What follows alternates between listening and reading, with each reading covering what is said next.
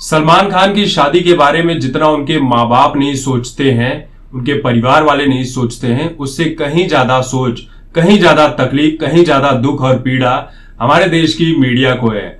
आज अलग अलग मीडिया के प्लेटफॉर्म पर एक फिर से खबर उड़ रही है कि सलमान खान के बर्थडे पर एक विदेशी लड़की दिखी थी, जिसका नाम है समानता लॉकहुड ये सलमान की लेटेस्ट, फ्रेश गर्लफ्रेंड है। और सलमान खान से इसकी शादी की बात चल रही है। बताइए, सत्तावन साल का इंसान, अब सत्तावन साल की उम्र में शादी करेगा वो तो भाई उसका आगे का करियर क्या है? लोगों को, मीडिया वालों को ये समझ में क्यों नहीं आता कि भाई ऐश्वर्या गई, संगीता बिजलानी गई, और पता नहीं उसके पहले कितनी गई होंगी।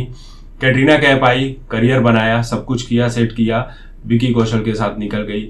लुलिया वंतूर, वो भी आई, फ़िल्मों में काम करी है। अब कहती है कि मुझे सलमान की ज़रूरत नहीं है।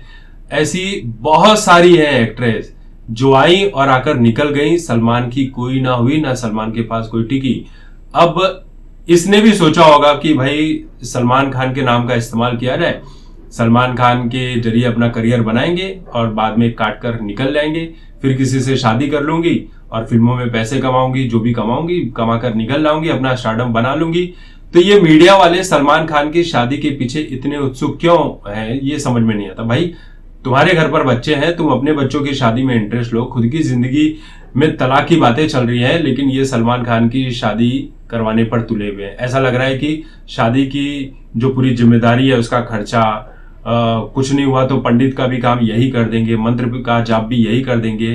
भाई इतनी चिंता इस देश की मीडिया को सलमान खान की शादी की क्यों पड़ी हुई है? वो बंदा खुद शादी नहीं करना चाहता है और तुम हो कि ज़बरदस्ती उसे धकेल रहे हो कि नहीं शादी कर लो शादी कर लो। अरे हर किसी लड़की के साथ नाम जोड़े जा रहे हो, बेचारा वो खुद कंटाल गया है।